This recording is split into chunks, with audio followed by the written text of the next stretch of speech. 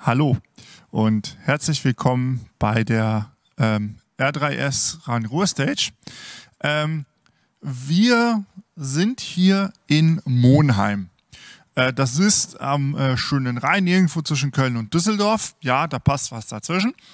Ähm, und äh, wir haben heute einen Talk. Das ist nicht wirklich ein Talk, das ist ein Interview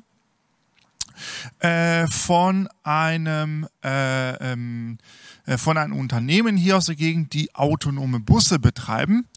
Ähm, und äh, die wir ein bisschen begleitet haben und um, äh, wo wir auch ein paar ähm, äh, wo wir auch ein paar Eindrücke äh, von gesammelt haben. Ebenfalls noch eine kleine Anmerkung: Wir nehmen Fragen entgegen im IRC. Ähm, genau, wir nehmen Fragen entgegen im IRC auf Hackint unter R3, äh, im Channel R, äh, R3S und natürlich auch auf Mastodon und Twitter äh, unter äh, dem Hashtag RC3 R3S oder R3S RC3 oder wie auch das das findet ihr bestimmt dann äh, das kommt bestimmt bei uns an. Ähm, und ähm, ja damit Mats ab. Das wollte ich schon immer mal sagen. Lass uns doch gleich mit der ersten Frage anfangen Gerne. Ähm, das ist ja ein EasyMile EZ10-Bus. Wieso hat sich die Stadt eigentlich genau für diesen Bus bzw. dieses Modell entschieden? Äh, es ist eigentlich ganz einfach. Es gab eine Ausschreibung, nachdem die Stadt äh, das Vorhaben ähm, veröffentlicht hat, äh, autonome Busse anzuschaffen. Und in der Ausschreibung gab es zwei Anbieter und EasyMile hat eben diese Ausschreibung gewonnen und hatte das beste Angebot. Deswegen sind das diese Fahrzeuge geworden das Angebot jetzt im finanziellen Sinne oder habt ihr da auch äh, besondere Wünsche gehabt? Äh, letztendlich gibt es, da gab es natürlich viele Kriterien, die ausgeschrieben wurden. Äh, und zum Beispiel äh, die Sicherheit ist bei den Fahrzeugen aus unserer Sicht am besten gegeben.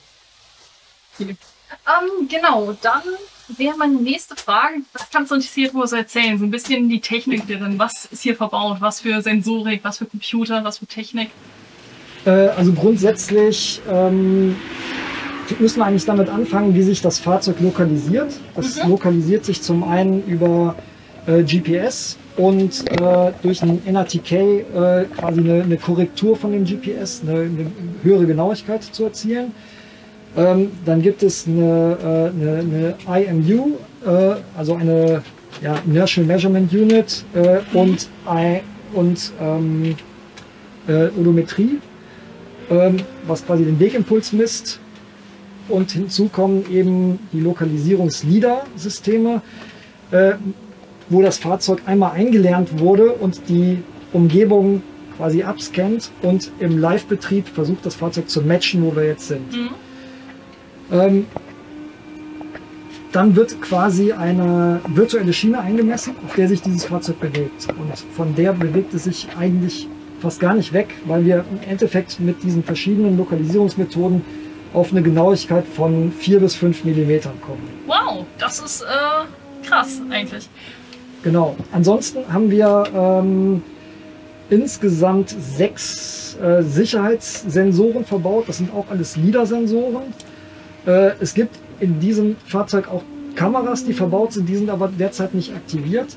Und in der äh, neuen Fahrzeuggeneration von Isima gibt es auch Radarsysteme, ähm, die hier aber auch noch nicht drin sind. Aber ich sag mal, das dürfte äh, tendenziell die Zukunft sein, eine Fusion aus den verschiedenen ähm, Sensorikdaten zu bekommen. Genau, das war jetzt zur Sensorik. Ähm, die Sensordaten müssen jetzt aber natürlich auch verarbeitet werden. Korrekt. Wie passiert denn das hier drin? Äh, es gibt drei Computer hier drin, mhm. Die eben äh, ja, eine, eine, Fusion dieser Daten machen. Ähm, es gibt auch letztendlich eigentlich äh, eine, eine, Unterscheidung zwischen, zwischen der Sicherheitssensorik und dann eben der Lokalisierung. Aber im Endeffekt ist das ähm, ja durch die, durch die gesamte äh, Rechenleistung wird das natürlich eben auch erzielt cool. Ähm, und dann noch so ein bisschen mehr zu dem Ge Gefährt eigentlich. Ähm, E-Autos haben ja immer noch ein bisschen dieses Reichweitenproblem. Der hier hat ja auch Akkus. Was kannst du uns dazu sagen? Wie groß sind die? Wie weit kommt der?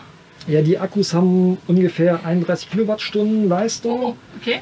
Ähm, das bedeutet letztendlich, naja, wir messen die Reichweite äh, eigentlich selten dann in Kilometern, sondern eigentlich eher in, in Stunden. Und ähm, das war, hängt halt sehr stark davon ab, ob ich die Heizung oder die Klimaanlage anhabe oder nicht. Das äh, reduziert die Reichweite eigentlich ungefähr um die Hälfte.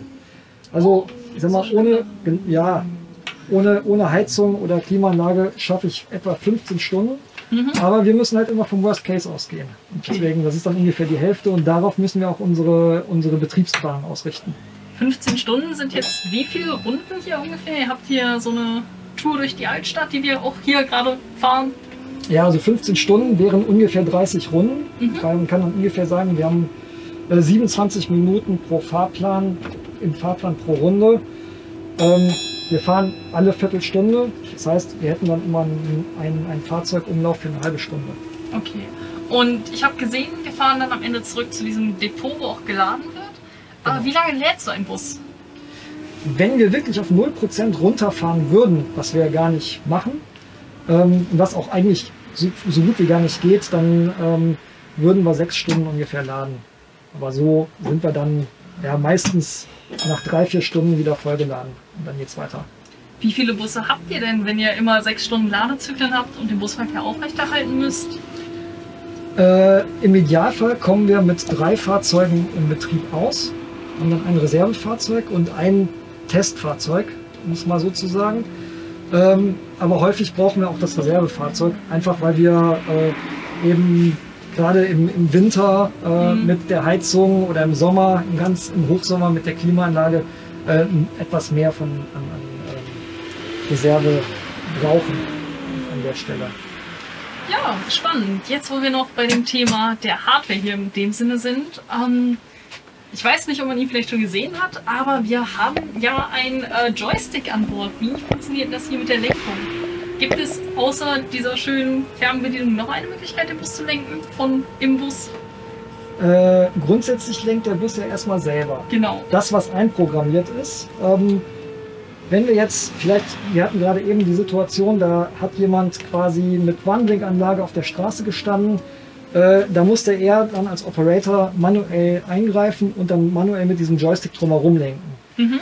Äh, eine andere Möglichkeit gibt es an der Stelle nicht. Okay, das heißt entweder Joystick oder er fährt selbst und genau. im Fehlerfall bleibt er stehen, schätze ich. Richtig, genau. Ja, genau. Das, Hatten wir. Und dann äh, wäre natürlich noch meine Interesse halber Frage. Wir haben ja einen relativ großen Akku dabei und der ist hier in Deutschland, ich glaube, ihr habt ihn auf 16 zugelassen, 16 Stundenkilometer kann das sein? Ja, genau. Genau, aber ich habe gesehen, der darf laut Herstellerspezifikation noch 45 Stundenkilometer fahren. Was kann man, wenn man das wirklich wollte, aus diesem Bus rausholen?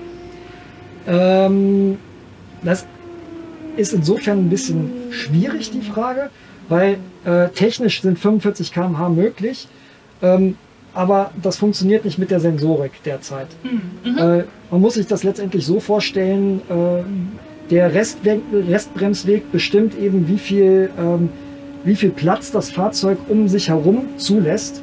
Und je schneller ich fahre, desto mehr Platz brauche ich um das Fahrzeug. Und ähm, wenn Dann ich bei genau, hinschauen, ja wenn ich, wenn ich jetzt bei, wenn ich jetzt Tempo 25 fahren würde, dann wird jeder Gegenverkehr aktuell, so wie die Software aktuell ist, wird jeder Gegenverkehr uns abbremsen. Und ja, deswegen, das auch nicht so angenehm. Genau, deswegen ist das, sind diese 16 km/h aktuell das Optimum, was machbar ist. Aber natürlich äh, wird sich das auch weiterentwickeln und wir werden mit Sicherheit auch äh, hoffentlich absehbarer Zeit auch schneller fahren können. Das äh, freut mich nicht, aber auch die Anwohner nicht. Bestimmt. Genau, dann ähm, kommen wir ein bisschen zur Softwarefrage. Denn dieser Bus verarbeitet ja nicht nur die Sensorik, er muss doch irgendwie seine Routen bekommen. Ähm, gibt es hierfür eine API, mit dem ihr dann quasi in Echtzeit den Bus von eurem Büro aus steuert? Ähm, wir können quasi von der Leitstelle ähm, können wir nur bestimmte Sachen machen.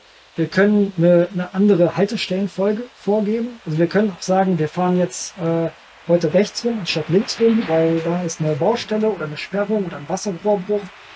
Ähm, Wir können aber nicht eben von der Ferne irgendwie, sag ich mal, teleoperiert das Fahrzeug steuern. Also wir können nicht von der Ferne lenken, manuell. Und ähm, wir können aus der Ferne, äh, könnten wir zum Beispiel äh, die Scheibenwischer anmachen. Wir können aus der Ferne sagen, das Fahrzeug fährt nicht mehr weiter. Das ist das, was wir eigentlich an der Stelle machen können. Äh, viel mehr ist aber eigentlich auch nicht möglich. Äh, Wir können auch zum Beispiel sagen, dass wir irgendwie an der Haltestelle nicht zwei Sekunden stehen, sondern zehn Sekunden oder sowas. Das, das können wir beeinflussen. Aber viel mehr eigentlich dann auch nicht. Könntet ihr denn in einer Runde eine Haltestelle hinzufügen beispielsweise? Oder einen weiteren Haltestopp irgendwo daneben, einen kurzen Abzweigpunkt da, damit Ja, die- anhalten? Die theoretisch, theoretisch wäre das möglich, wenn der vor, ich sag mal, voreingestellt wäre schon. Aber da sind wir natürlich wieder auch an dem Punkt, dass wir eigentlich an die Haltestellen auch so nah ranfahren, dass wir möglichst äh, barrierefrei unterwegs sind, dass wir einen geringen Restspalt haben, äh, was zum einen natürlich für mobilitätseingeschränkte Personen wichtig ist, auf der anderen Seite aber jedem zugute kommt. Ja klar, ich habe gesehen, ihr habt eine ziemlich coole Rampe hier mit dran, damit man hier auf dem äh, Rollstuhl rein und rauskommt sicher. Genau. Aber im Endeffekt, im Endeffekt ist da, ist da halt irgendwie, wenn wir an Haltestellen ranfahren, ist das äh, ganz genaue Programmierarbeit, Mhm. um, um dann halt wirklich auch eine, eine möglichst geringe Restbreite äh, zuzulassen. Genau. Ähm, wie monitort ihr denn die Busse im Alltagsbetrieb? Was erfasst ihr da alles? Ähm, die werden tatsächlich dann eben aus der Leitstelle gemonitort. Mhm. Ähm, da wird zum Beispiel der äh, Batterieladestand auch überwacht. Da wird eben auch überwacht, wie die Geschwindigkeit ist. Die Leitstelle kann sehen, ob der Kollege im manuellen Modus unterwegs ist oder ob der Kollege tatsächlich automatisch fährt, so wie wir jetzt fahren. Ähm, ja, da, da sag mal, es besteht die Möglichkeit, das Fahrzeug auch äh, anzufunken, also Sprech, Sprechkontakt aus der Leitstelle aufzunehmen. Das kommt dann hier aus den Lautsprechern. Das kommt dann hier aus den Lautsprechern, genau, richtig. Ist natürlich, wenn es keinen Operator mehr geben würde, ist es natürlich auch erforderlich, um dann den Kontakt mit den Fahrgästen aufnehmen zu können. Aber das ist noch Zukunftsmusik. Ja, noch äh, haben wir immer eine freundliche Begleitung dabei. Genau. Genau. Ähm, ich habe gehört, ihr habt, ich glaube, letzte Woche ein Software-Update in euren Busse eingespielt. Ähm, wie schlimm ist es? Ähm, ich würde sagen, wenn, wenn, ähm, das ist, ist natürlich ein, ein Prozess, wo wir auch alle ein bisschen dazulernen. Ähm, um es mal so zu sagen. Nein, wir, wir sind mittlerweile eigentlich äh, ganz gut dabei, dass wir, dass wir da ein, äh, sag ich mal, ein, ein Test, äh, eigentlich aufgesetzt haben. Wir haben einen, einen Testkatalog, den wir durchführen. Wir sind da in enger Abstimmung äh, mit dem TÜV Rheinland als unserer Prüforganisation, äh, was das angeht. Und äh, es geht aktuell trotzdem nur äh, Hand in Hand mit dem Hersteller zusammen. Ähm, das, was wir uns natürlich für die Zukunft erhoffen, ist, dass das über das Kraftfahrtbundesamt auch geregelt wird und ähm, wir nicht quasi im Ein in der Einzelzulassung im Einzelbetrieb mit dem Hersteller selber die. Software-Updates äh, ja, ähm, letztendlich durchführen müssen und abnehmen müssen. Und ähm, das ist sicherlich ein Punkt, der in der Zukunft dann kommt. Und ui, wie, äh, okay, jetzt, jetzt geht's rückwärts. Genau, ja, da, da steht ja eigentlich das Linienfahrzeug, der aber Mohammed, der fährt, glaube ich, in einer Minute fährt der, glaube ich, los. Dann können, wir, im Stau. können wir hinter dem herfahren. Dann kann der unsere, kann der die Fahrgäste für uns mitnehmen und äh, Super. Ja, genau. Nee, cool. Ähm, genau, wir waren bei den Updates. Dazu Genau. wäre meine Folgefrage, wie spielt ihr die ein? Kommen die dann direkt over the air in den Bus oder müsst ihr hier noch ganz manuell mit dem USB-Stick dran?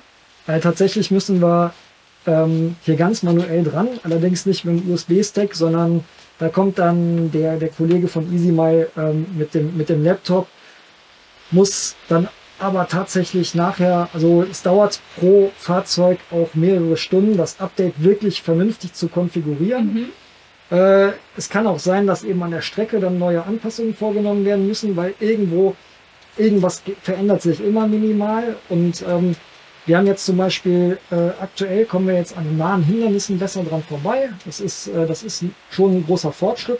Dafür gibt es auch manchmal Sachen, die nicht so geklappt, die dann nicht so sofort so klappen, wie es vorher geklappt hat.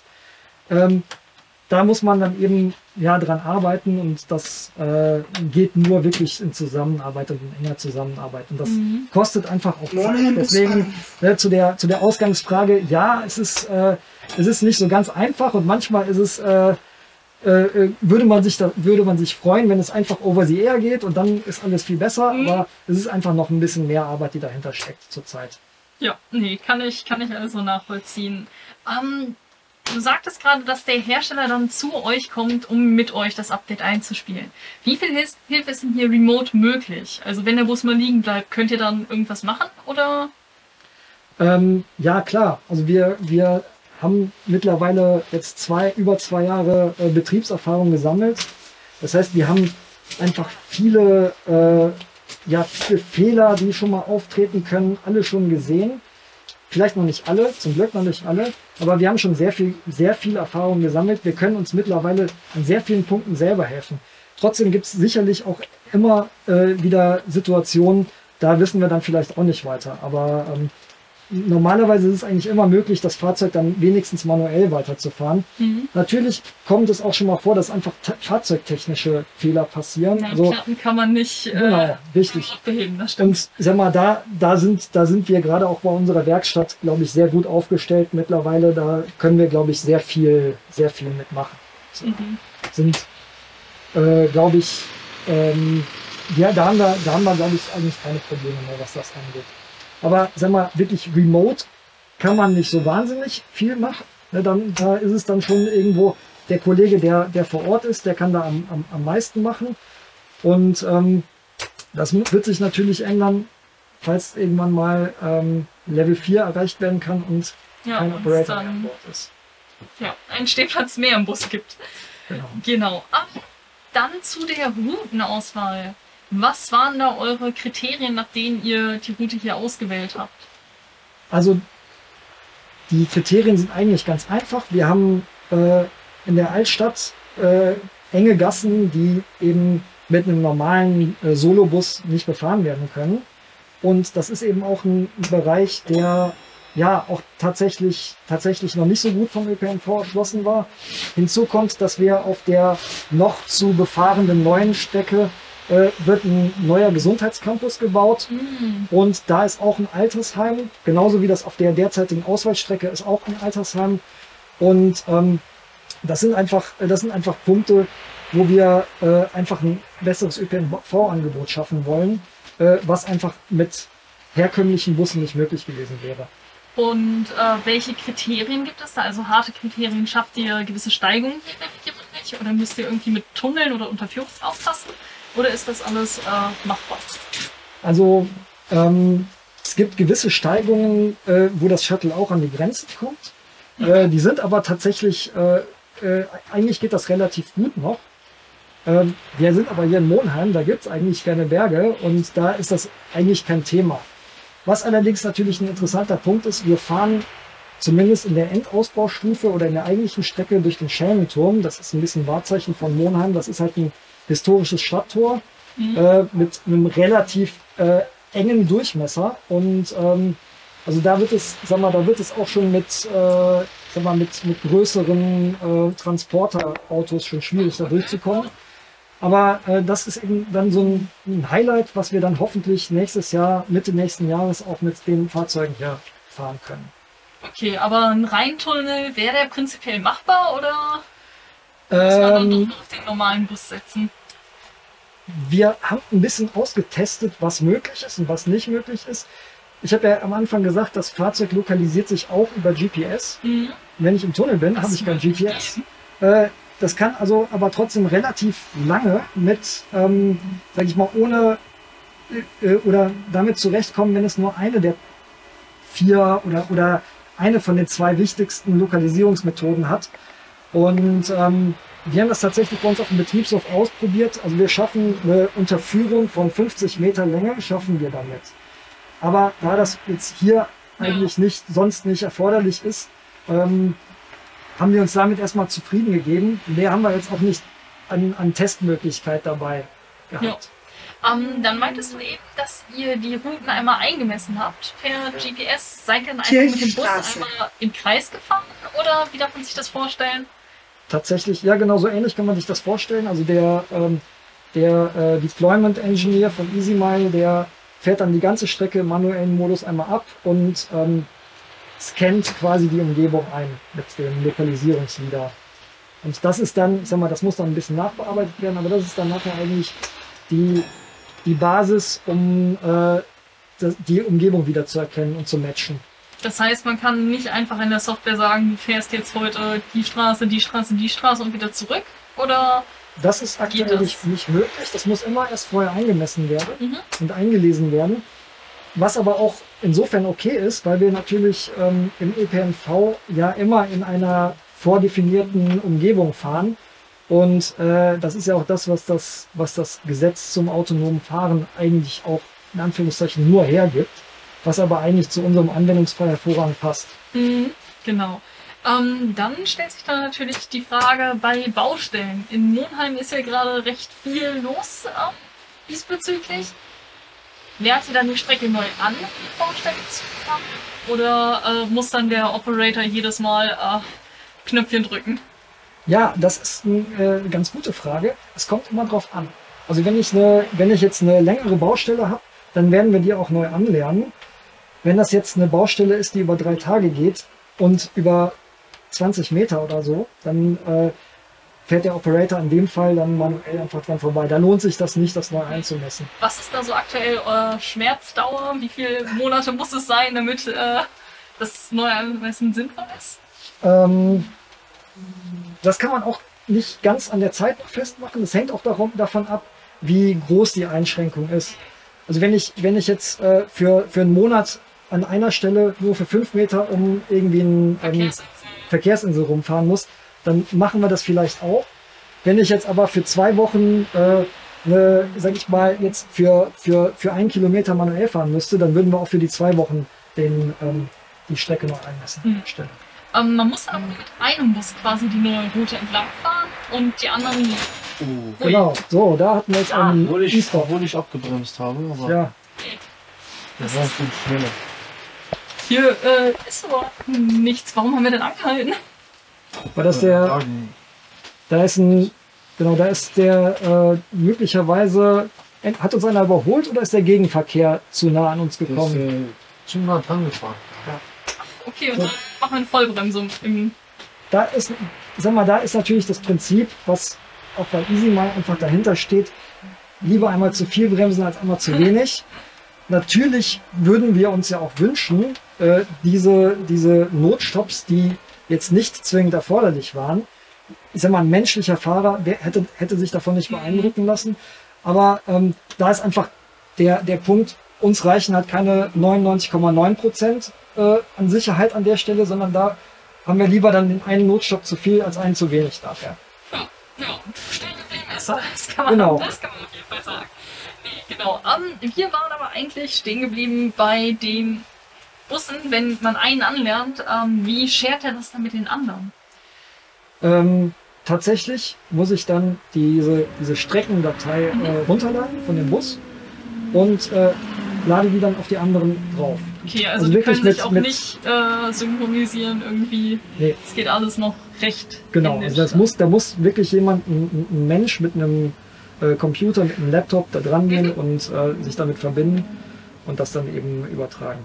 Genau. Ähm, es gibt ja jetzt das neue Buzzword Vehicle to Everything ähm, für den modernen, smarten Straßenraum. Ähm, schwebt euch da auch was vor, jetzt wo ihr schon die autonomen Busse habt? Evangelische Kirche. Bitte? Den, Sorry. den letzten, den letzten, den Ja. letzten, da war die evangelische Kirche dazwischen. Ähm, hilft euch das, beziehungsweise plant ihr das, weil es euch hilft, eure autonomen Busse besser durch die Stadt zu schicken? Ähm, ja, also ich, ich sag mal, es gibt, es gibt natürlich schon irgendwo den, den, den Punkt, dass wir äh, darüber nachdenken.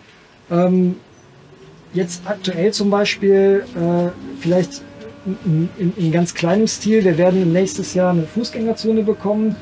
Ähm, da möchten wir natürlich auch äh, eine möglichst ähm, smarte Kommunikation mit den zu entstehenden Pollern, äh, die dann da kommen, äh, äh, etablieren. Ah, dass der Operator nicht aussteigen muss, Knöpfchen drücken, einsteigen muss. Genau. Ah. Sondern, sondern das ist wirklich eine, dann eine, eine äh, Vehicle to V2X Kommunikation an der Stelle Mhm. wäre. Und ähm, ja, natürlich, äh, klar, es gibt, es gibt na natürlich noch viel mehr, was, was da alles denkbar wäre. Wir gehen da jetzt erstmal auch Schritt für Schritt vor, machen das, was wirklich jetzt ansteht und was nötig ist. Aber natürlich, äh, ich sag mal, in der, in der letzten Endausbaustufe äh, können wir uns da natürlich viel, viel mehr noch vorstellen. Kann ich nachvollziehen. Ähm, dann noch zu dem Bus. Ihr parkt ja in eurer Garage auf diesem Startplatz. Ähm, was für ein Pre-Flight-Check macht ihr denn, um morgens mit dem Bus loszufahren?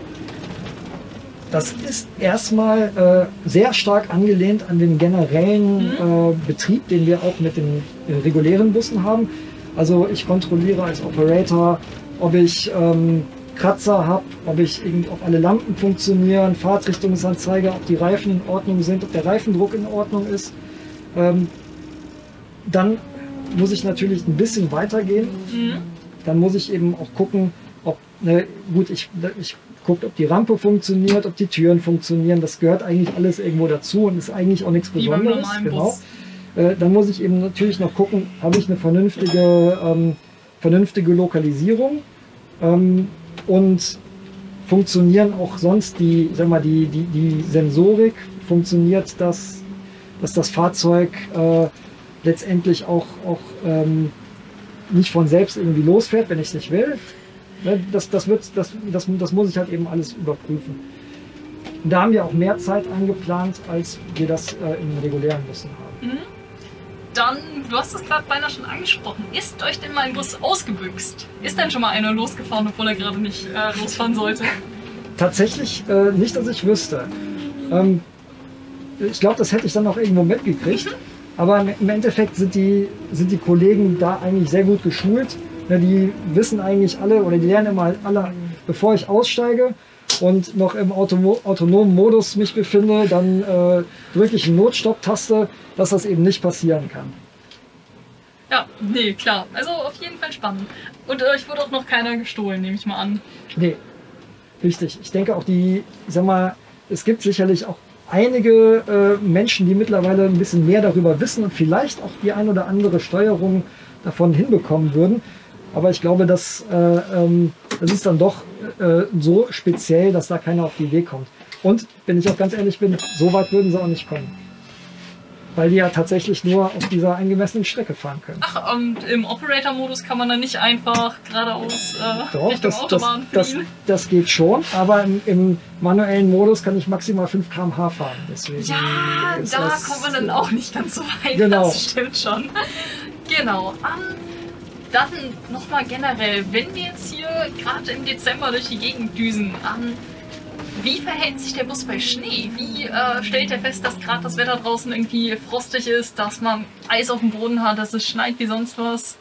Naja, da bin ich tendenziell wieder im, im ÖPNV unterwegs. Mhm. Da habe ich ähm, natürlich als erstes den, den Operator auch, der das äh, einschätzen kann. Aber ich habe auch unsere Betriebsleitstelle, die eben auch diese Einschätzung abgeben kann. Ähm, wir haben auch äh, an der Stelle ganz klar die, die Vorgabe, dass wir eben bei, äh, sag ich mal, bei, bei hohem Schnee ähm, nicht fahren dürfen mit dem Fahrzeug. Äh, da wird tendenziell dann unser Betriebsleiter sagen, wir stellen auf der Linie an und eins den Betrieb ein. Okay, ja. Ne? Und das ist einfach ähm, unabhängig davon, ob das jetzt geht oder nicht. Ne? Wir haben das tatsächlich sogar auch schon mal ausprobiert, mit ein bisschen Schnee zu fahren, das geht auch. Aber das ist dann einfach nur ein Test gewesen. Ähm, wir müssen die Sicherheit an erste Stelle stellen und äh, da haben wir dann einfach äh, ganz klar gesagt, das, das, das dürfen, das, das machen wir nicht und dann ähm, ist das eben der, der Punkt. Ich glaube, wir haben Vorfahrt, oder?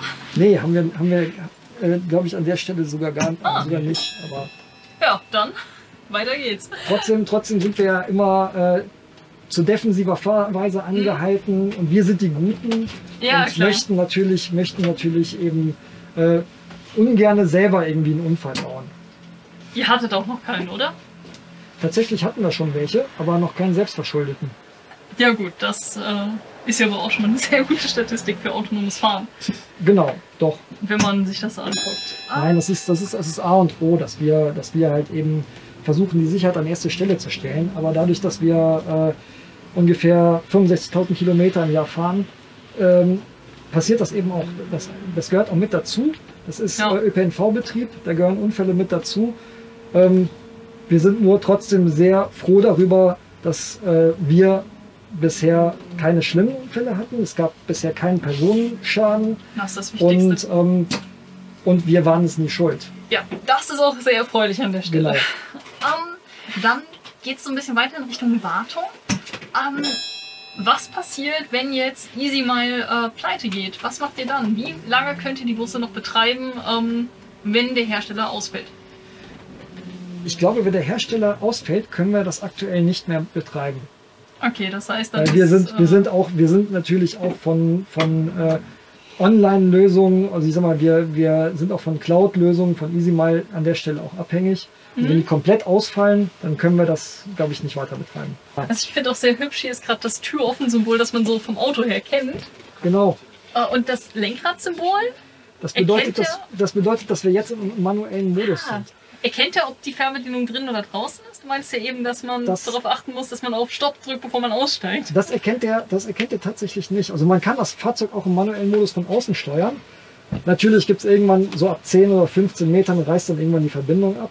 Und äh, aber bis dahin kann ich auch von außen steuern. Das brauchen wir auch, wenn wir zum Beispiel die Fahrzeuge auf einen Anhänger aufladen, um die zum Betriebshof zu bringen. Hm. hier haben wir nur eine Garage. Ja. Das heißt, wir dürfen hier auch keine Reparaturarbeiten durchführen. Das heißt, äh, alles, was wir wirklich dann an, an richtiger Wartung machen und, und an Reparaturarbeiten machen, dann müssen wir die Fahrzeuge auf den Anhänger aufladen und zum Betriebshof fahren, in die Werkstatt. Ja. Das ist auch immer ein kleiner Aufwand natürlich, der dann mit dabei ist. Aber Moment, kannst du mal ganz kurz die, ähm, die äh, äh, Safety ausmachen? Nee, das Next. Safety on. Genau, machst du mal auf Safety off, also auf 1 müsste das sein. Okay, jetzt Genau. ist auf. Jetzt siehst du nämlich Ah, da, der blinkt rot. der blinkt, genau, der blinkt jetzt rot. Jetzt hat er nämlich die, ähm, die, die Sensoren, die Sicherheitssensoren komplett ausgeschaltet. Die sind normalerweise auch im manuellen Modus Ach, immer das- an. Das geht? Das geht. Wenn ich jetzt irgendwo zum Beispiel auf einen Anhänger auflade, ist das ja ganz klar, praktisch. Oder wenn ich jetzt, sag mal, wenn ich jetzt irgendwo ganz, ganz eng bin Mhm. und ich komme sonst wirklich gar nicht mehr weiter. Ähm, es ist tatsächlich so, dass die Kollegen das nicht ohne Rücksprache machen dürfen und auch, sage ich mal, dann eigentlich bestenfalls nicht. Aber, ähm, aber es ist halt eben, äh, es gibt die Situation, wo das eben erforderlich ist. Und dann ist das jetzt, äh, sag ich mal, gut zu sehen, dass das eben äh, jetzt, dass, dass, Ja, dann, weiß, es dann weiß er, dann weiß er, ich habe es nicht aus Versehen irgendwie ausgeschaltet und Ja, Das wieder jetzt wieder. Genau, Ist wieder an. der hat eine noch Hupe. Der hat auch eine Hupe. Ja, es ist, es ist halt eigentlich, nee, das, das, das ist tatsächlich die Klingel, die Hupe. Darf Die Klingel. kurz- Ja. Die Hupe ist. ähm, die Klinge, die Klinge ist, die Klinge ist wie so eine, so eine Straßenbahnklingel. Aber ähm, Wofür braucht man eine Klingel in einem Bus, wenn man eine Hupe hat? naja, die Klinge ist ein bisschen sanfter. Ne? Da, Ah. die, Klinge, die Klinge löst auch gleichzeitig eine Lichthupe aus. Also äh, das ist, das ist wenn, wenn tatsächlich, ne, wir sind Elektrobusse, Mhm. äh, wir sind leise unterwegs. Manchmal, gerade in der Altstadt, gibt es Leute, die laufen auf der Straße, die hören nicht, dass da irgendwie einer kommt. Und dann drücke ich nicht auf die Hupe, sondern auf die Klingel. Und dann erschrecken die sich nicht so sehr. Hm, Dann Licht tut man die Oma von der Straße. Genau, genau so. Okay, schön, schön. Ja, nee, auf jeden Fall äh, spannend, was es da alles für Ideen gibt. Ähm, bei E-Autos kenne ich das, wenn die unter 30 Stundenkilometer fahren, müssen die äh, so ein ziemlich nerviges Geräusch abspielen, damit man die hört. Müsst ihr das auch? Wenn wir jetzt eine neue Zulassung beantragen würden, müssten wir das, ja. Aber ihr habt noch ohne. Genau, wir haben das, wir haben das noch ohne. Ähm, es kann auch sein, dass wir, wenn wir tatsächlich mal schneller fahren wollen, äh, müssen wir auch eine neue Zulassung beantragen. Dann kann es sein, dass wir das auch machen müssen, dass wir Okay. das auch aufspielen müssen. Das gibt's auch äh, die Möglichkeit, das, das aufzuspielen. Aber wir sagen halt auch, solange wir es nicht müssen, lassen wir es halt noch weg. Ja. Und äh, das Gute bei den Bussen ist tatsächlich, die sind halt so defensiv, ähm, die überfahren wirklich niemanden. Ja, und, Ja, also- haben wir gesehen, die bleiben Genau, die bleiben stehen. lieber einmal zu viel als einmal Ah. zu wenig stehen. Aber ähm, das, das ist halt wirklich, äh, das ist auch wirklich sicher. Da ist ne, der, die Kollegen regen sich eher darüber auf, dass er einmal zu oft bremst, als dass er eben zu wenig bremst. Und das ist aber auch gut so. Kann ich auch nachvollziehen an der Stelle. Wollen wir noch eine Runde drehen? Wie ihr wollt. Alles klar. Euer Fahrer. Viel Spaß.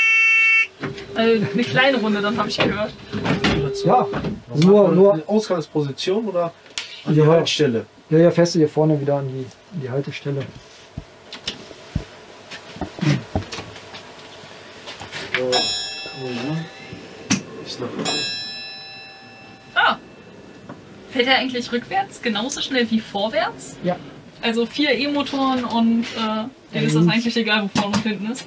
Genau. Also für den Antrieb haben wir zwei E-Motoren, einer vorne, einer hinten. Mhm. Äh, tatsächlich ist das Fahrzeug eigentlich auch als Zweirichtungsfahrzeug konzipiert, in Deutschland aber nicht zulässig. Deswegen haben wir ein bisschen was modifiziert, also beziehungsweise wir haben die Scheinwerfer hinten äh, ausbauen lassen. Äh, ansonsten, wenn er jetzt sich falsch rum auf die, auf die Trajektorie stellen würde, würden wir auch die ganze Strecke rückwärts fahren. Hätten wir nur die Tür auf der falschen Seite. Das und, ungünstig ähm, zum Einsteigen. Genau, das wäre halt einfach ein bisschen ungünstig, aber rein theoretisch funktioniert, wird das eben auch funktionieren. Mhm. In der neuen Generation von EasyMy ist das aber eben nicht mehr so. Also da ist das dann auch ein, ein Einrichtungsfahrzeug. Okay. Hat er dann zwei gelenkte Achsen oder äh, Genau. Also die das heißt, es macht wirklich gar keinen Unterschied es im macht, Prinzip in macht welche, Prinzip also außer die Tür. Genau. Ja, Das ist der, das ist der Punkt. Und äh, ja gut, jetzt haben wir halt hinten keine Scheinwerfer mehr. Deswegen Aber, jetzt klar. so abends wäre das vielleicht jetzt äh, keine gute Idee. Ja, nee, klar. Das äh, sehe ich dann durchaus. Gibt es den auch als Zweitürer dann, dass man, dass es dann aber wirklich egal ist, wo was ist? Dieses, dieses Fahrzeug nicht. Okay, ja. Ja, nee, spannend. Ähm, wir waren aber eben eigentlich stehen geblieben bei den äh, Systemintegrationsthemen. Also was passiert, wenn der Hersteller ausfällt. Ähm, wie sieht das mit Ersatzteilen aus? Das ist ja auch immer so ein leidliches Thema. Ja, tatsächlich. Ähm, das, also zum Glück ist es bei uns bisher noch nicht so leidlich, dass es nicht gehen würde.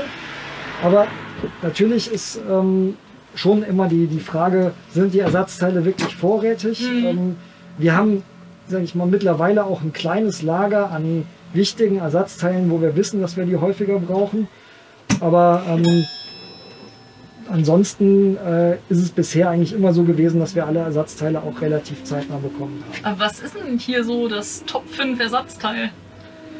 Ähm, das Top 5 Ersatzteil, also äh, das Lenkgetriebe macht manchmal Probleme. Oh, das ist ja aber doch sehr essentiell. Also keine Fahrgastraumbeschädigung, sondern direkt unten in der Technik. Ja, genau. Autsch. Und natürlich die, sag mal, die, die LIDAR-Sensoren, die sind ja an den vier Ecken, Mhm. stehen ein bisschen außen vor. Also wenn tatsächlich irgendwo mal äh, ein, ein Unfall passiert ist, dann war meistens immer einer von diesen LIDAR-Sensoren Mhm. auch beteiligt und oder Ja, direkt halt beschädigt. Genau, die stehen halt über. Und das ist natürlich immer auch direkt relativ teuer. Und da sind die gegnerischen Versicherungen gar nicht so froh drüber. Ich, äh, das glaube ich wohl, dass die sich freuen, wenn man denen einen Schadensfall mit einem autonomen Bus meldet. Ähm, gibt es Probleme? Also haben die schon mal versucht, euch da einfach nicht auszubezahlen? Äh, zum Glück ist das nicht direkt mein, mein primäres Ah. Thema, aber so wie ich das gehört habe, gab es da durchaus schon, äh, schon Versuche von Okay, Versicherungen. ja klar, ja. Wer, wer ist denn gefahren zu dem Zeitpunkt? Hm, schwierige Frage. Genau. Wer, wer fährt denn den Bus? Also ich meine, er fährt sich ja selbst, aber ist äh, unser Operator hier eigentlich immer der Fahrer, wenn was schief geht? Genau, also das, Okay. deswegen, das ist momentan ganz einfach. Der Operator ist Fahrzeugführer. Wenn jetzt das Fahrzeug, wenn das Fahrzeug auch einen Fehler machen würde, äh, dann wäre es immer erst er, der auch in der Verantwortung steht. Man muss halt Stopp drücken. Genau. Ne? Und das, das ist halt eben, das, das, muss man, das muss man halt eben schon sagen an der Stelle. Ähm, spannend wird das, wenn es vielleicht zukünftig, ja, genau, wenn es vielleicht zukünftig äh, keinen Operator mehr gibt. Ähm, da ist man halt momentan eigentlich, äh, eigentlich relativ klar auf, dem, auf der Ansicht, dass dann der Hersteller dafür Ja, weil er Äh, das. Genau. Aber ne, es, gibt, es gibt halt eben die Frage der Produkthaftung und der Betriebshaftung und ne, das, äh, Diese Spiegel, das ist Was hatten wir diesmal? Nee, ich bin hier zu nah dran gefahren. Ah! Ja, Sind du aber- noch zwei Meter? Das ist so ein bisschen Platz. genau, es ist, es ist immer wieder die Frage ähm, der Geschwindigkeit, ne, die, die Kombination aus Geschwindigkeit und ähm, je schneller ich unterwegs bin, desto äh, mehr Abstand braucht das Mhm, Fahrzeug klar. zu Hindernissen. Ja, nee, ähm, du meintest mal eben, ihr habt eine eigene Werkstatt, äh, um den Bus zu reparieren. Das heißt, ihr habt die Teile da, ihr habt äh, eine Werkstatt. Könnt ihr das Ding quasi komplett selbst servicen oder muss da der Hersteller auch mal vorbeischauen? Es kommt immer darauf an, worum es geht. Wenn wir, äh, wenn wir jetzt über, ähm, Lenkung oder Bremsen oder Reifen reden. Äh, die, klassischen, äh, die klassische Fahrzeugtechnik, das können wir eigentlich selber. Sobald es an die Sensorik und an die Software geht, äh, geben wir das auch an den Hersteller ab. Okay. Und da kommt dann Ja. auch ein, ein, ein Kollege von EasyMeyer. Ah, und dann ähm, noch die Frage, wir hatten jetzt ja schon mehrere Notbremsungen im Prinzip. Wie äh, gut ist dieses Gefährt denn von den Anwohnern angenommen? Ähm, grundsätzlich gut. Mhm. Die, sag mal, die meisten Anwohner, die das auch selber nutzen, die freuen sich darüber. Äh, Gerade auch die Gastronomen hier in der Altstadt, die freuen sich darüber, ähm, weil es dann doch auch äh, eine gewisse Attraktion ist. Das kann ich verstehen. Äh, auf der anderen Seite muss man natürlich sagen, gibt es natürlich auch äh, Leute, andere Verkehrsteilnehmer, meistens die Autofahrer, die das, äh, die hinterherfahren, die das vielleicht nicht so gut finden. Auch das kann ich irgendwo nachvollziehen. Weißt du Genau. ungefähr, wie viel äh, Beschwerden ihr da so im Jahr kriegt? Wir bekommen gar nicht so viele Beschwerden, tatsächlich. Die meisten Beschwerden landen ja irgendwo im Netz, in sozialen Medien. Ah, die kommen ja nicht zu euch. Die kommen, die kommen eigentlich gar nicht zu ja, uns. wenn man keine Beschwerde-Hotline hat, dann. Wir haben eine Beschwerde-Hotline. Ach ja, und dann?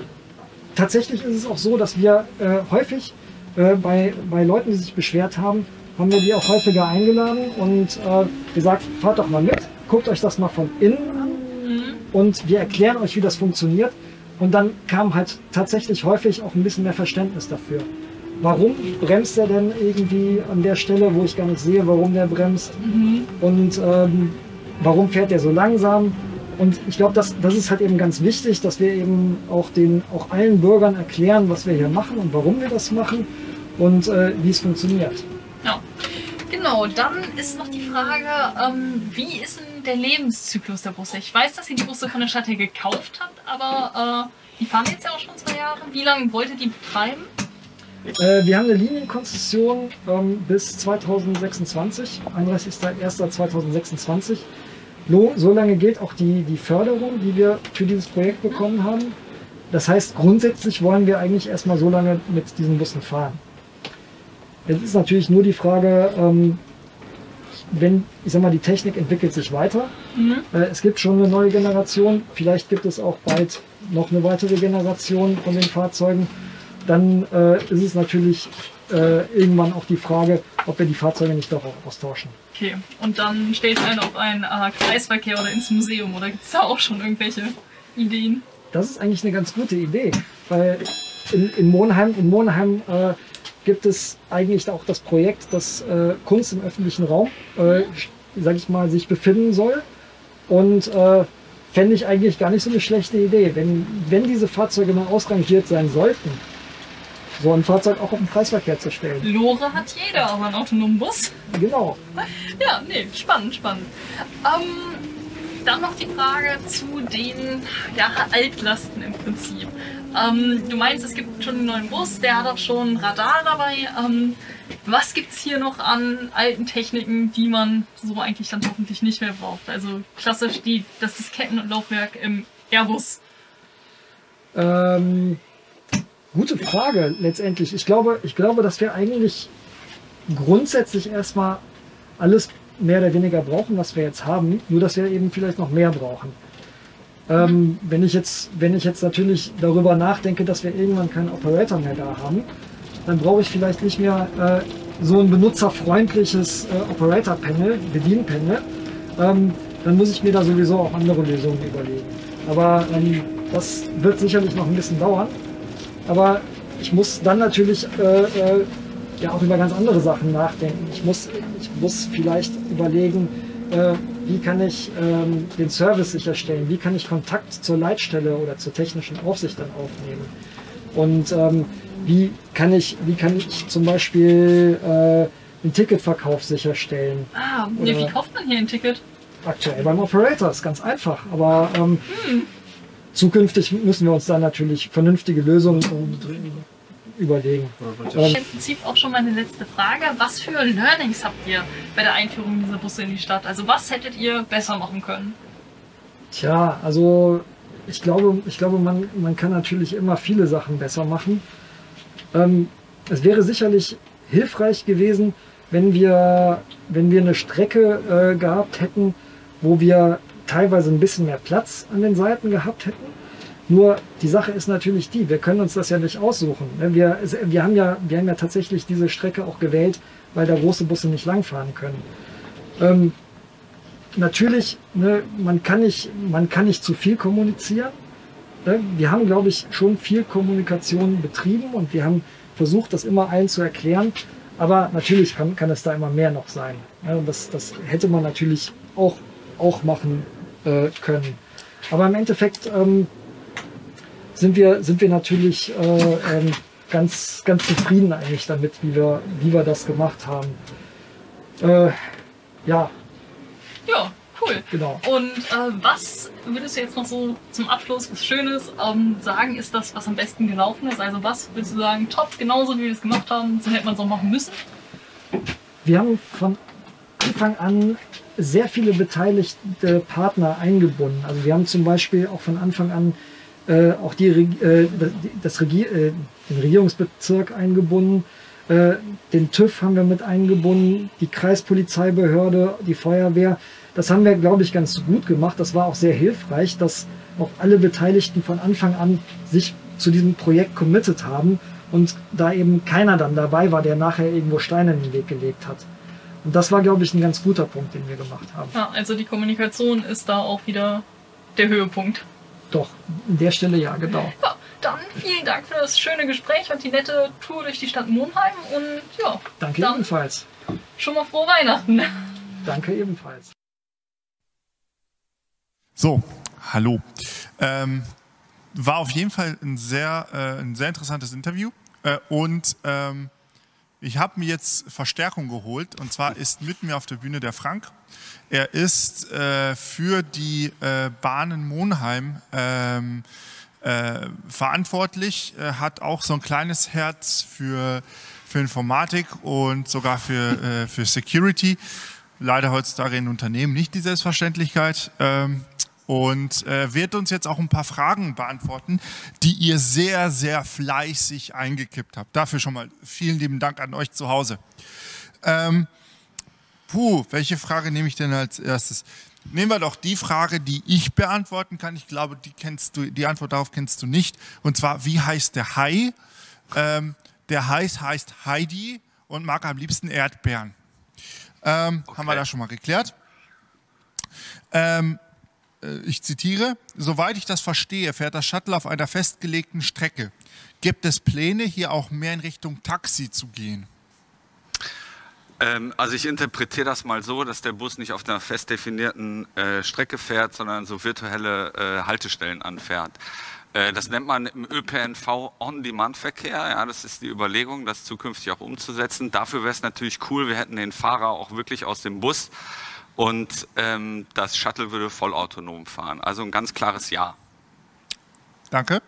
So, dann weiter zunächst mal. Wir haben ein paar echt. Ähm, wie ist das mit Fußgängerinnen? Springen die einfach so auf die Straße, wenn, die, äh, wenn sie den Bus sehen und denken, äh, der hält doch sowieso, oder? Äh, äh oder sind sie vorsichtiger? Also sind äh, sowohl, ja, sowohl als auch. Es gibt natürlich auch immer die Menschen, die dann äh, ausprobieren wollen und mutig sind und dann so irgendwie äh, ihr, ihr, Fuß irgendwie vor den, vor dem Bus äh, schwingen oder einfach mal vorspringen. Das Problem an der ganzen Geschichte, das ist gar nicht so ungefährlich, ne? weil der Bus, der legt dann natürlich eine harte Bremsung hin und ähm, sollte man tunlichst vermeiden. Der Bus funktioniert, der bleibt auch stehen, ist allerdings für die, für die Gäste halt, die in dem Bus sitzen, ein bisschen unangenehm. Ne? Danke. Äh, dann ähm, äh, zu der Autonomie der Busse, das, das geht zurück auf die Frage mit den Taxis. Wie autonom sind die Busse im Moment tatsächlich? Was muss der Operator die, die, oder die Operatorin äh, noch tun ähm, und wann werden die Busse vollautonom fahren können? Okay, also im Prinzip ähm, hat sich vielleicht schon mal jemand mit beschäftigt. Es gibt die sogenannten äh, SAE-Level.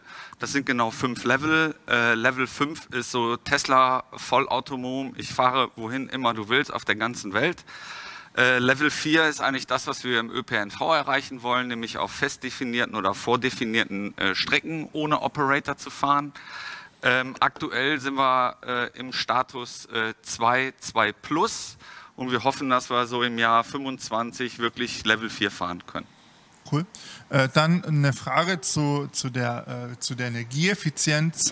Äh, rekuperiert der Bus, also gewinnt er Energie vom Bremsen? Ja, Ja, tut er. Ist halt ein Elektrofahrzeug, ein klassisches. Äh, das tun ja äh, alle Elektrofahrzeuge. Äh, natürlich bei den Geschwindigkeiten, die wir fahren, hat das einen geringeren Effekt, als wenn ich jetzt mit einem Tesla oder mit einem EQ natürlich auf der Autobahn äh, vom Gas gehe. Aber ja, das macht er. Ähm, dann dazu direkt äh, die Frage, äh, wieso sind die Parameter des Busses, also Batterie, Motorleistung etc., so viel hinter einem klassischen Consumer-Pkw? Gibt es da eine Weiterentwicklung? Ja, auf jeden Fall, klar. Ist, aber man muss auch immer bedenken, ist ja ein Shuttle, das ist für elf Personen. Das ist zwar ein kleiner Bus, aber das ist jetzt natürlich nicht so ein klassischer Solo-Bus oder äh, ein Gelenkbus, der natürlich eine ganz, ganz andere Leistung braucht. Mhm. Ähm, natürlich gibt es da äh, Fortschritte. Es gibt auch schon eine Generation 3 unserer Shuttles. Äh, da werden wir wahrscheinlich im nächsten Jahr dann einen im Einsatz haben, aber man muss natürlich das immer abhängig von, von der Größe und der Strecke machen. Mhm. Ähm Moment.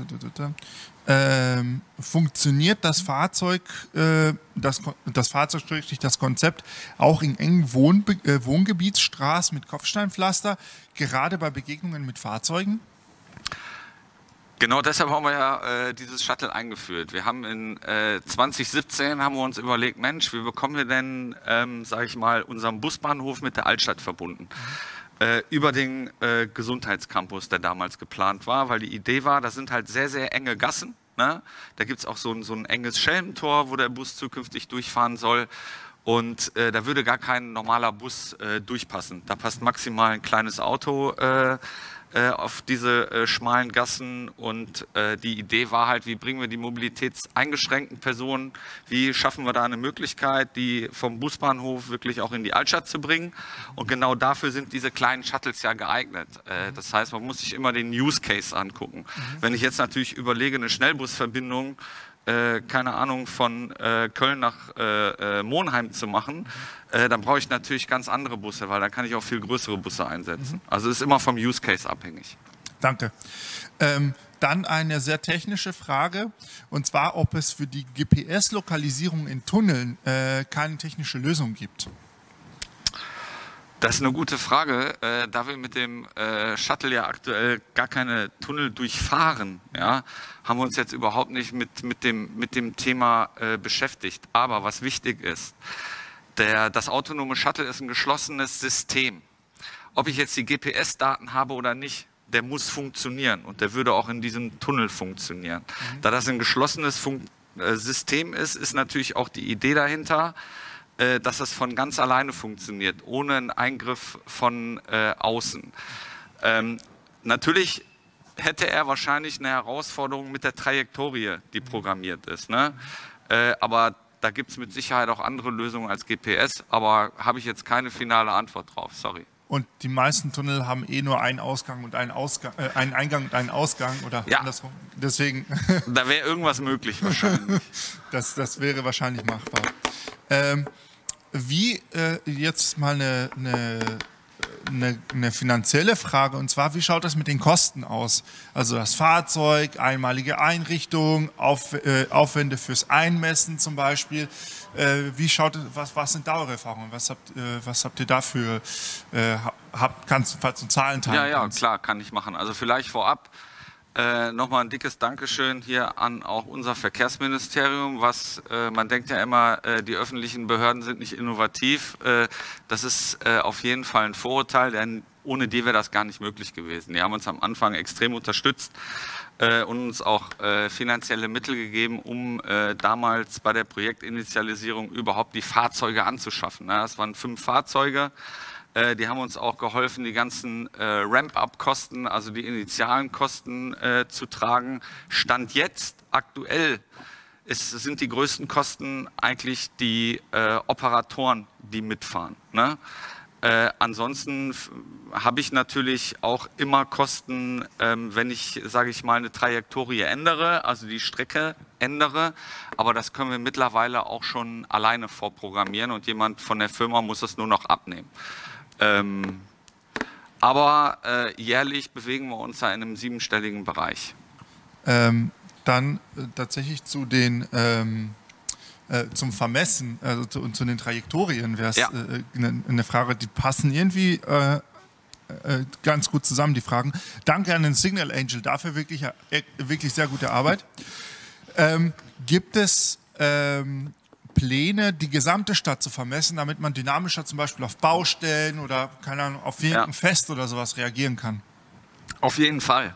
Ähm, heute muss man sich das so vorstellen, es ist halt wirklich, ähm, ich habe halt eine Straße und die, die Trajektorie, die wir programmieren, ist sozusagen das, das, das Optimum auf dieser Straße. Jetzt sieht es ja so aus, äh, was ist, wenn ich auf, auf plötzlich jemanden in zweiter Reihe parken habe? Was ist, wenn da irgendwie, keine Ahnung, Unfall ist, eine Haltestelle ist? Dann muss der Bus natürlich zukünftig auch in der Lage sein, ähm, selber sozusagen eine Umfahrung zu leisten. Und das geht natürlich nur, wenn wir von einer fest umfahrenden Trajektorie abweichen.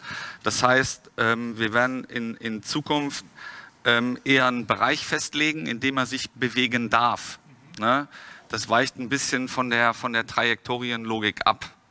Äh, aber auch das ist natürlich Forschung und Entwicklung. Da haben wir jetzt auch noch nicht die äh, finale Lösung.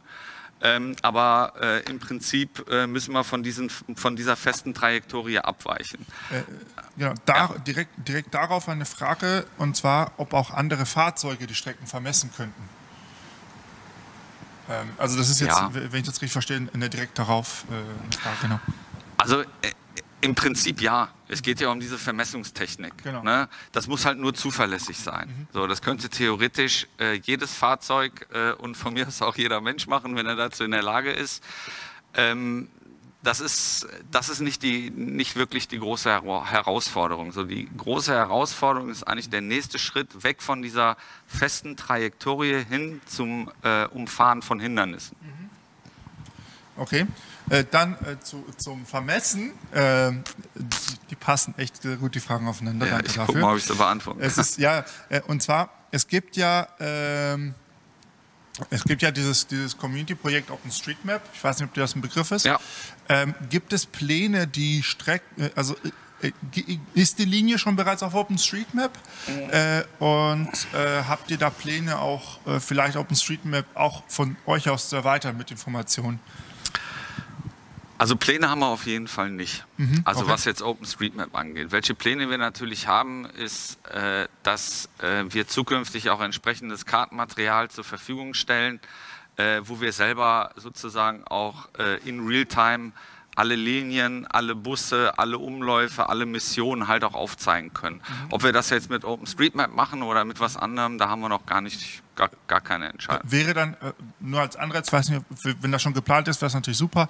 Wäre natürlich cool, wenn der Zugang zu diesen Daten äh, über eine API oder sowas verfügbar wäre, Klar. damit dann die Leute auch wieder was Cooles draus machen können. Ja. Und äh, Ja. dann vielleicht auch findet sich jemand, der das Ganze in OpenStreetMap reinkloppt oder so. Ja, ist eine gute Idee. Ja, genau. Dann äh, die Fra Frage äh, zu den Operatorinnen, äh, was äh, für Fahrerlaubnis, was für eine Fahrerlaubnis, was für einen Führerschein, was für eine Zulassung benötigen die, damit die das überhaupt machen dürfen? Also prinzipiell haben die alle erstmal einen klassischen, ich nenne es mal Busführerschein. Das führt jetzt, glaube ich, zu weit, hier alle Busführerscheine aufzuzählen. Äh, ich glaube, wichtig an der Stelle ist, dass wir alle Fahrer nochmal äh, fast vier Tage auf den autono autonomen Bus on top schulen, ähm, weil da gibt es natürlich auch ein paar Besonderheiten, die man beachten muss. Wir haben zum Beispiel auch in der äh, Freigabe vom TÜV Rheinland, die wir damals bekommen haben, äh, eine Anweisung, dass wir vor einem Zebrastreifen, bevor der Bus losfährt, nochmal sozusagen eine Manöverfreigabe äh, äh, machen müssen über so einen Button. Ne? Äh, und natürlich noch viel mehr Dinge. Was müssen wir machen im Notfall? Was ist, wenn die Batterie anfängt zu brennen und alles Mögliche? Dafür äh, schulen wir die sehr intensiv und haben natürlich auch in den Bussen immer einen dicken Ordner liegen, äh, wo die nochmal nachlesen können. Okay, danke. Ähm, dann habt ihr, gab es Tätigkeiten für die Operatorinnen, wo ihr dacht, äh, von denen ihr nicht wusstet, dass sie, dass sie äh, auf euch zukommen? Also Sa- Sachen, die euch, die euch überrascht Ja. haben, dass sie, dass sie, dass sie das machen müssen. Was ja immer am meisten überrascht, sind die Menschen selber. Ne? äh, und ähm, ich sag mal, äh, der Bus fährt ja in einem ganz klassischen Individualverkehr mit.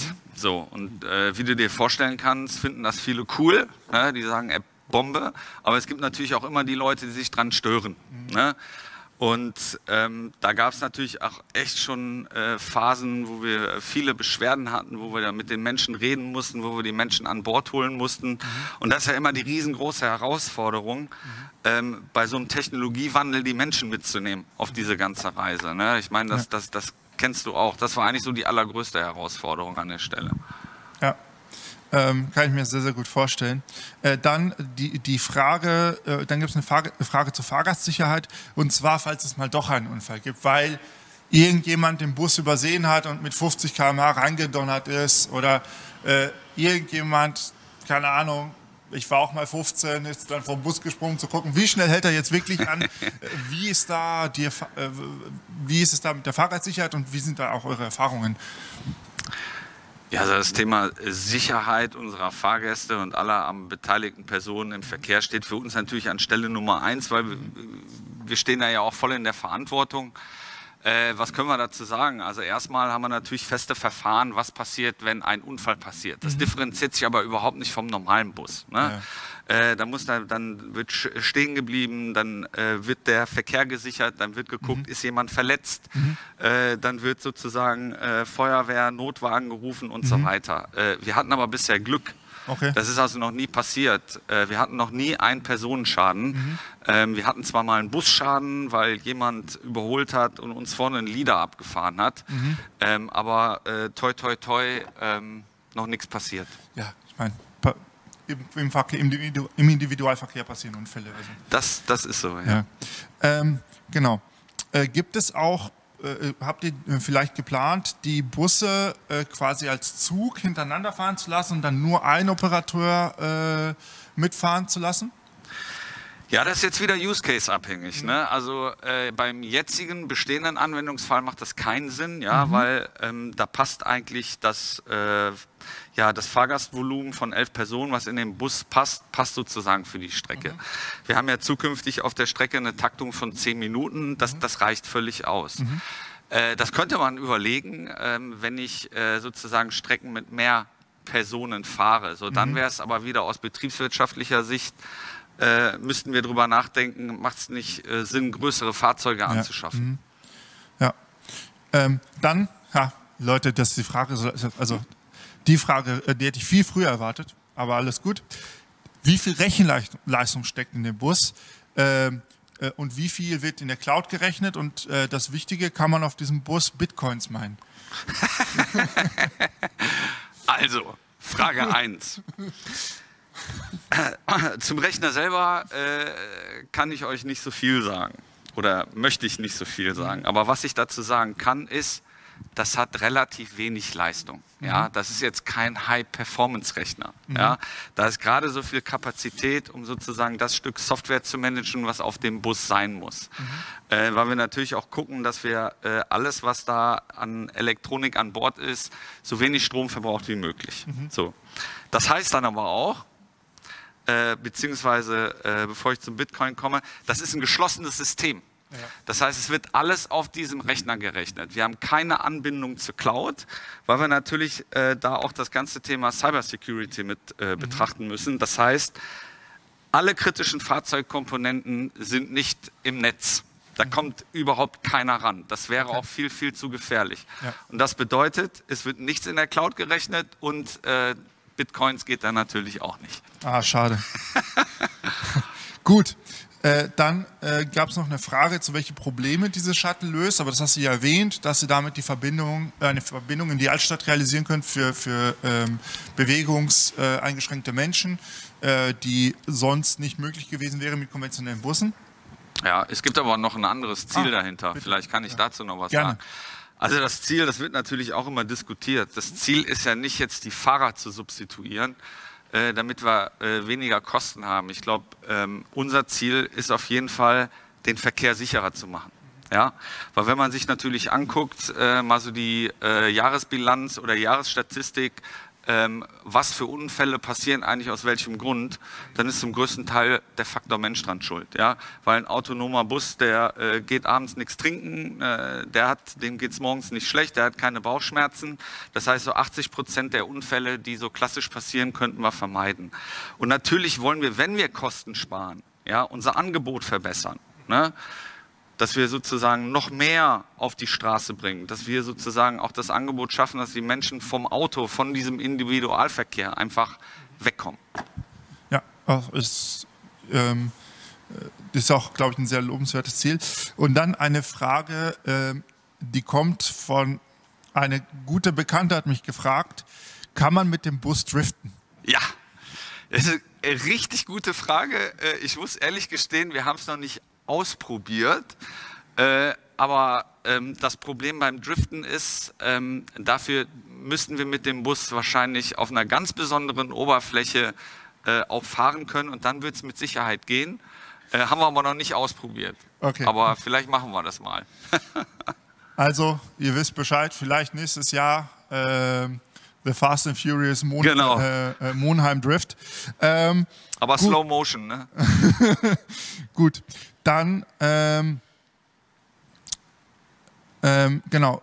Äh, ich, dann kam noch gerade eine Frage rein. Ich frage mal kurz die Regie. Wie viel Zeit haben wir noch?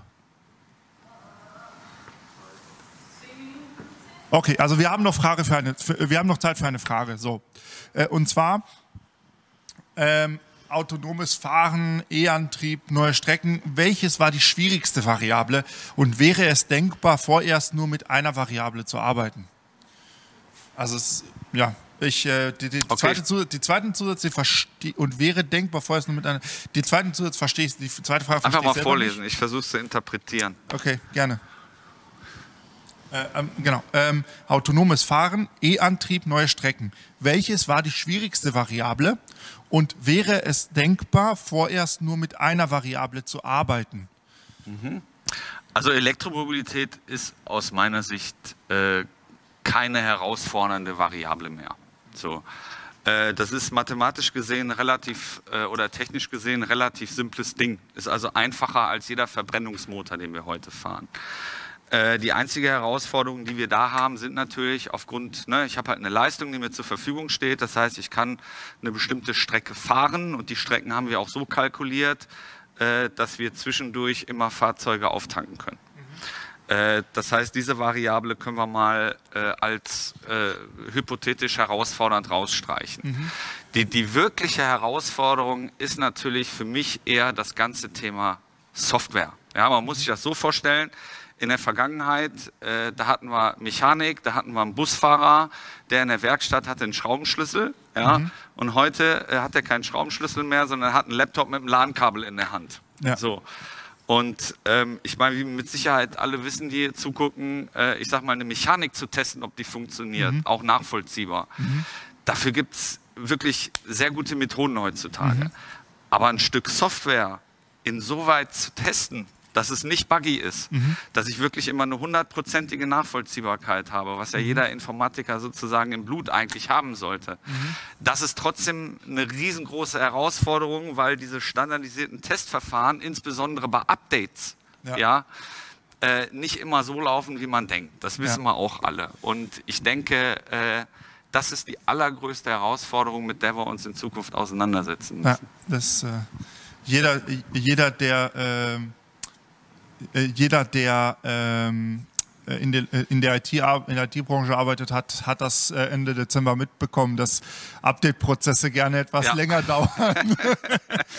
ähm, Absolut, ja. ich spreche da definitiv nicht aus eigener Erfahrung. Ja. Ähm, gut, dann haben wir das, glaube ich, dann haben wir, glaube ich, soweit alle Fragen durch. Ähm, ich äh, bedanke mich herzlich dafür, dass du Vielen hier Dank. warst. Ähm, war auf jeden Fall sehr interessant. Ich habe es gestern nicht geschafft, äh, ähm, mal eine Runde mit dem, mit dem Autonombus zu drehen. Kann ich nur vielleicht empfehlen. vielleicht schaffe ich es heute. Ich bin auf jeden Fall gespannt. Ähm,